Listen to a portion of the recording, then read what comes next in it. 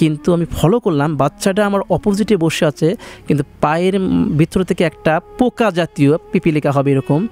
আমার একটা মানে এরকম একটা পিপিলিকার মতো আমার শরীর দিয়ে বেয়ে বেয়ে প্রবেশ করছে। আমি তখন কি করলাম, আমি আমার শরীর থেকে মানে ঝাড়া দিচ্ছি যে কী এগুলো, কী হচ্ছে এগুলো। কিন্তু এরকম করতে করতে এখন দেখি এই পিপিলিকাটা আমার শরীরের মাঝখানে মানে বুকের মাঝখানে আসে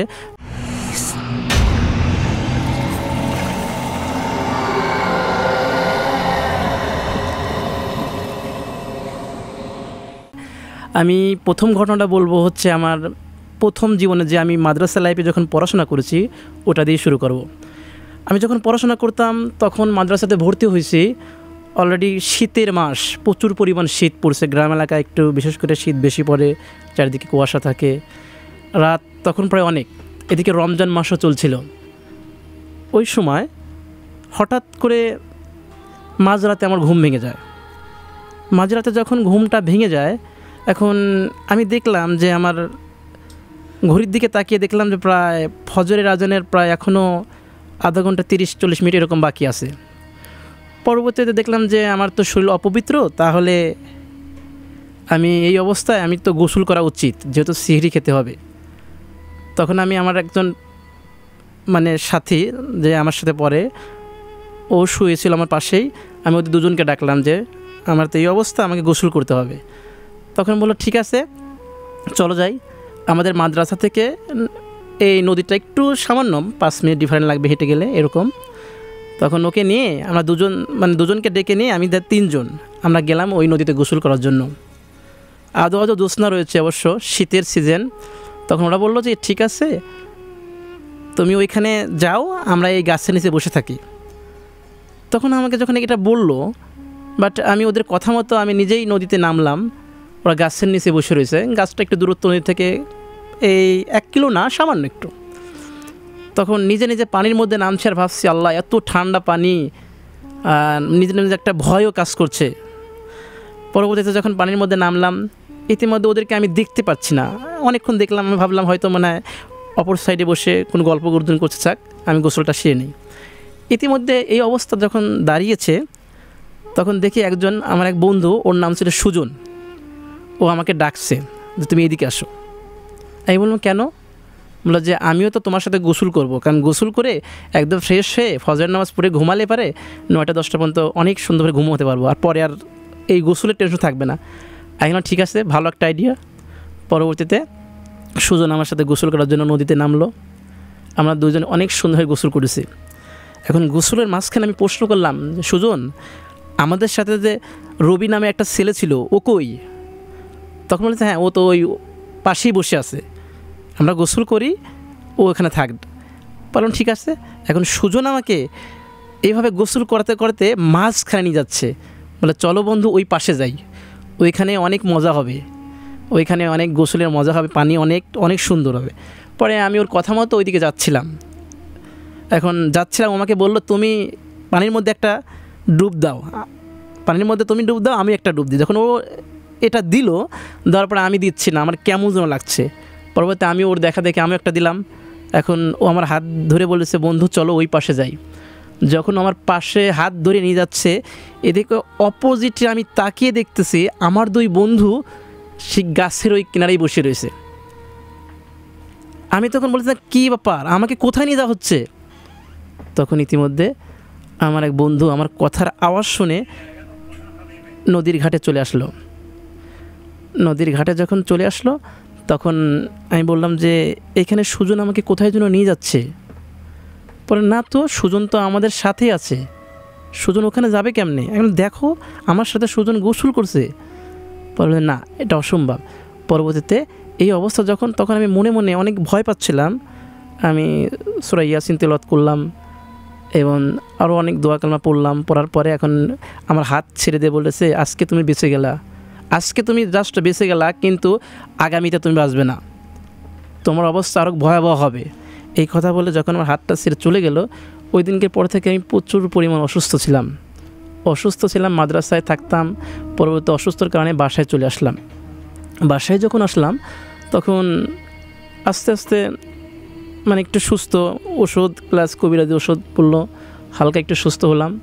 লাস্ট পর্যায়ে যখন রাত দশটা বাজে আমি গিয়েছিলাম একটা ডিসপেন্সারি দোকানে কিছু ওষুধ আনার জন্য।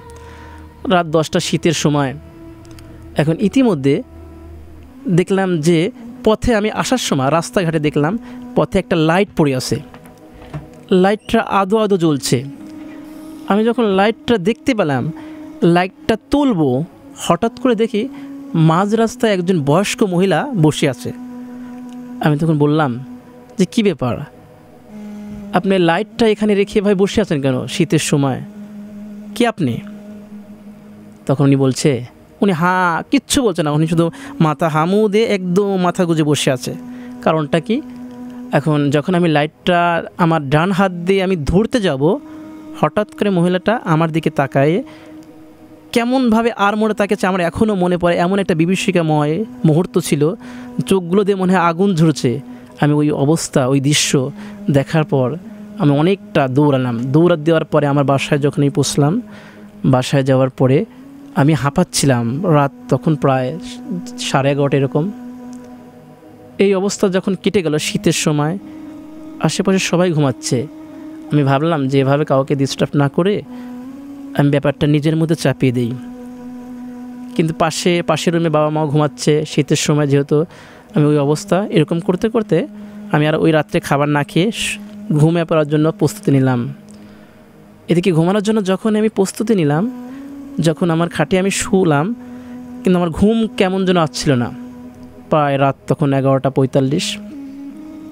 এখন আমি চিন্তা করলাম, কি করা যায়? এমনি দোয়া কালমা পড়তে পড়তে যখন আমি চোখটা হালকা মানে আদো আদো ঘুমের অবস্থা, হঠাৎ করে আমার মানে ঘরের উপরে যেটা যেটাকে আমাদের গ্রাম্য ভাষায় বলে চাল বা টিন বলে, এই টিনের উপর দুমুরমুর শব্দ হচ্ছে। মানে কে যেন ভারী কোনো কিছু দিয়ে আঘাত করছে। কারণটা কি? পরবর্তীতে আমি এই অবস্থায় আমার ঘুমটা আর হলো না। আমি ওই অবস্থা দেখে আমি ভয়ে আমি খাটের উপর বসে পড়লাম। কি করা যায়? এদিকে আব্বা আম্মাও ঘুমাচ্ছে, আশেপাশে সবাই ঘুমাচ্ছে শীতের সময়। তাহলে আমি এখন কি করব? আমি নিজেও তো ভয় পাচ্ছি। লাস্ট পর্যায়ে এখন আমি চিন্তা করেছি, থাক, এভাবে দেখি কতক্ষণ কি করা যায়। লাস্ট পর্যায়ে যখন টিনের ওই শব্দটা কিছু সময়ের জন্য মানে শব্দ হচ্ছে না, এখন আমি ফলো করলাম, আমার দরজার নিচ দিয়ে একটা মাকড়সার মতো পোকা প্রবেশ করছে। আমি এটা জ্যোৎস্নার আদো আদো জ্যোৎস্নাতে দেখতে পেলাম পোকাটা। এখন এই অবস্থা দেখার পরে আমার সাথে একটা লাইট ছিল। লাইটটা দেখলাম একটা মাকড়সা জাতীয় হবে আর কি। যখন এটা ধরলাম, এখন আমি অবাক হয়ে যাচ্ছি। মাকড়সাটা হঠাৎ করে সাত থেকে আট মাস বয়সে একটা বাচ্চা রূপান্তর হয়ে গেল। আমি নিজেকে কন্ট্রোল আমি নিজেকে ব্যালেন্স হারিয়ে ফেলছি, কি করব আমি এখন? আমি তো একা ঘরের মধ্যে বসে আছি। কাকে ডাকবো আমি? আমি নিজেও কল্পনা করতে পারছি না। এখন ওই বাচ্চাটা আমাকে দেখে মিষ্টি একটা হাসি দিল। হাসি দেওয়ার পরে বাচ্চাটা একটা মানে বাচ্চা যেমন ছোটোবেলায় দৌড়াদৌড়ি করে, লাফালাফি করে ওই রকম লাফালাফি করতে আমার ঠিক বেডের মাঝখানে বসে পড়ল। বেডের মাঝখানে যখন বসে পড়ল, তখন আমি বাচ্চার দিকে তাকিয়ে আছি বাচ্চা আমার দিকে তাকিয়ে আছে। এখন বাচ্চার চাউনির দিকে স্বাভাবিক বাচ্চারা যেরকম তাকায়, আমি সেটা বলি ওই রকম না। এই বাচ্চার দিক তাকাইলে মনে হয় একটা ভয় কাজ করছে, চোখ থেকে যেন অগ্নি, আগুন ঝরছে। তখন এই বাচ্চার দিকে যখন আমি তাকালাম, তাকিয়ে থাকার পর আমার কেমন যেন বিভোর ঘুম, চোখে ঘুম পাচ্ছে প্রচুর। এই অবস্থায় আমি ঘুমানোর জন্য যাব, কিন্তু বাচ্চাটা আমার করল কি? আমার ডান উরুর মাঝখানে এসে বসল। বসার পরে এখন আমি তো খুব ভয় পাচ্ছি। পরবর্তীতে আমি ঘুমানোর জন্য আমি যখন বালিশের উপর মাথা রাখি, কিন্তু আমি ফলো করলাম, বাচ্চাটা আমার অপোজিটে বসে আছে, কিন্তু পায়ের ভিতর থেকে একটা পোকা জাতীয় পিপিলিকা হবে এরকম। আমার একটা মানে এরকম একটা পিপিলিকার মতো আমার শরীর দিয়ে বেয়ে বেয়ে প্রবেশ করছে। আমি তখন কি করলাম আমি আমার শরীর থেকে মানে ঝাড়া দিচ্ছি যে কী এগুলো, কী হচ্ছে এগুলো। কিন্তু এরকম করতে করতে এখন দেখি আমি এই পিপিলিকাটা আমার শরীরের মাঝখানে মানে বুকের মাঝখানে আসে, যখন প্রবেশ করল, তখন আমি এটাকে অনেক জোরে একটা মানে আঘাত করলাম। কিন্তু ভাবলাম যে হয়তো উপরে হলে হয়তো মারা যাবে। কিন্তু কোনো কিছুতে কিছু হলো না। লাস্টে আমার নিজেদের স্বাভাবিক জ্ঞান, ব্যালেন্সটা আমি হারিয়ে ফেলছি। আমি একটা অনেক জোরে, আমার মনে পড়ে ওই দিনের কথা, অনেক জোরে আমি চেঁচিয়ে একটা চিৎকার দিয়েছিলাম। এই চিৎকারের শব্দে আমার বাবা মার ঘুম ভেঙে যায়। রাত তখন প্রায় একটা। গভীর রাত, শীতের সময়। বাবা মা আমার রুমে আসলেন। আসার পর আমাকে প্রশ্ন করল, কি হয়েছে? তখন আমি আব্বা আম্মাকে বললাম, মা, এরকম এরকম কাহিনী আমার সাথে চলছে। এটা কেন হচ্ছে? তখন বলছে যে, দেখি কি করা যায়।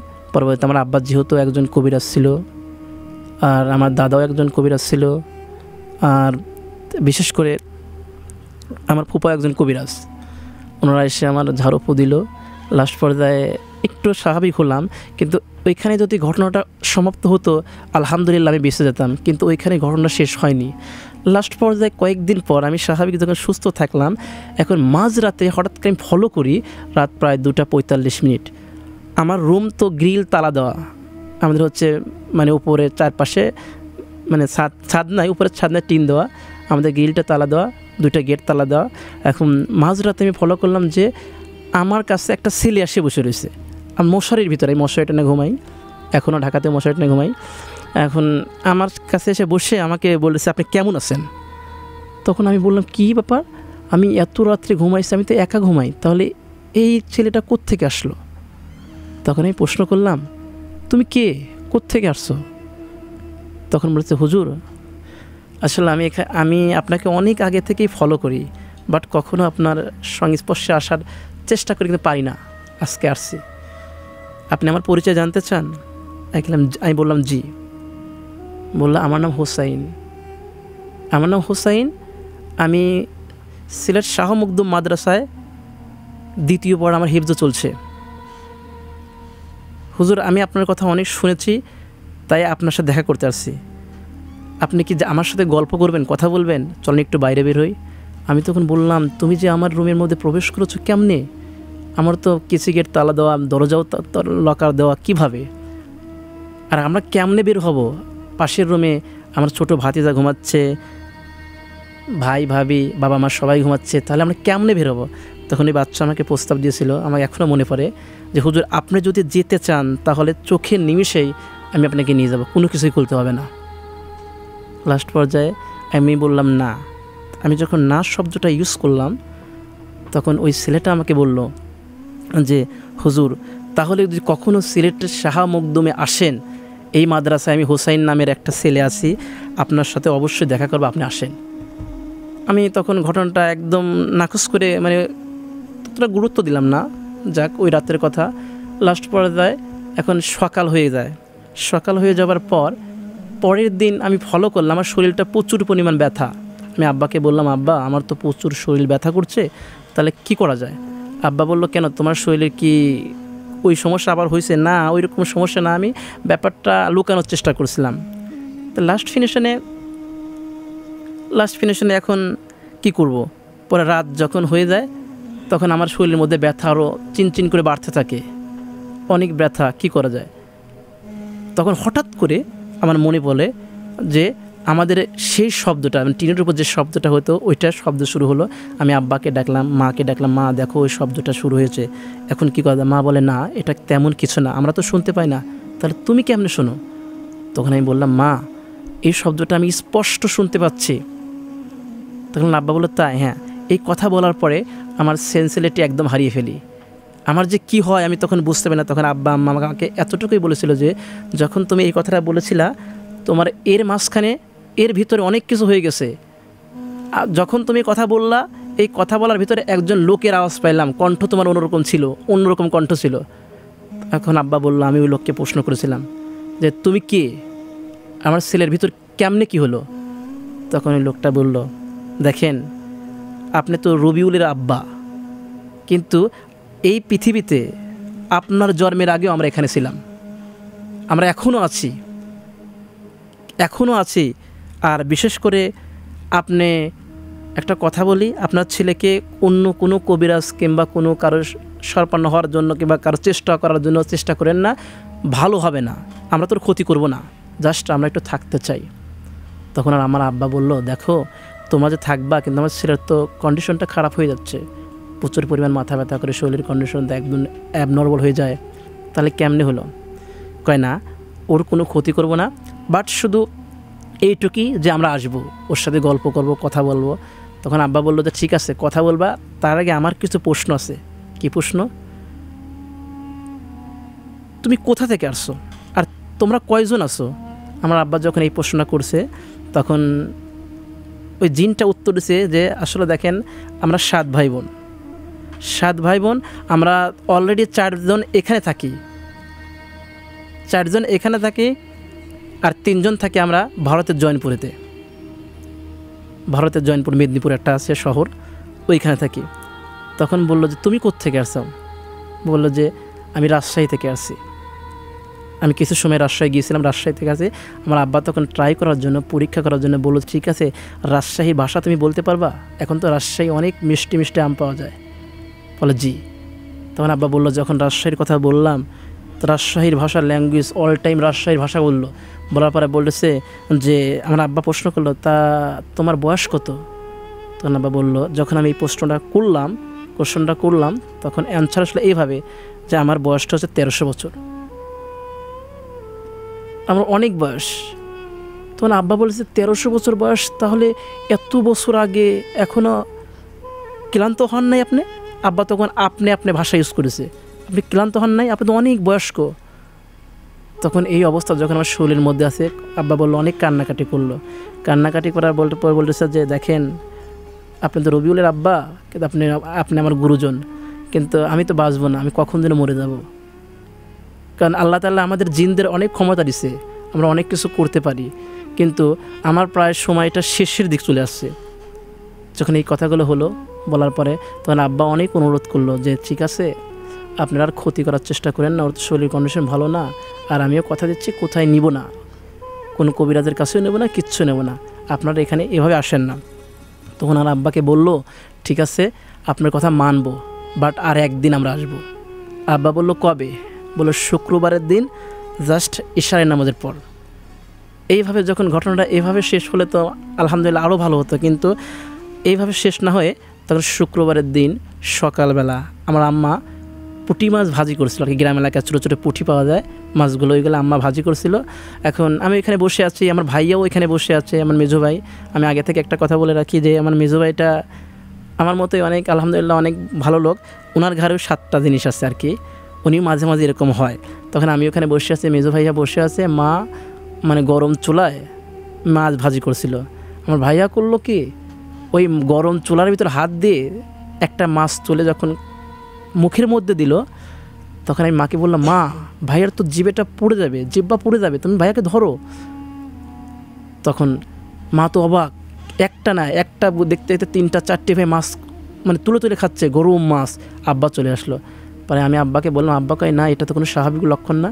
তখন আমার ভাইয়াকে ঘরের মধ্যে নিয়ে গেলাম। নিয়ে যাওয়ার পরে এখন আমার ভাইয়ার ঘাড়িটা মানে চলে আসছে অলরেডি তখন আমি আলহামদুলিল্লাহ একটু সুস্থই আছি। তখন আমার ভাই আর বলতেছে যে, আপনি আমার সামনে থেকে দূর হয়ে যান। আমার আব্বাকে বলেছে, কেন? কয়, দেখেন, আপনি যখন রাত্রে বাথরুমে বের হন, বিশেষ করে গ্রাম এলাকায় আমাদের বাথরুমটা তো একটু দূরেই থাকে।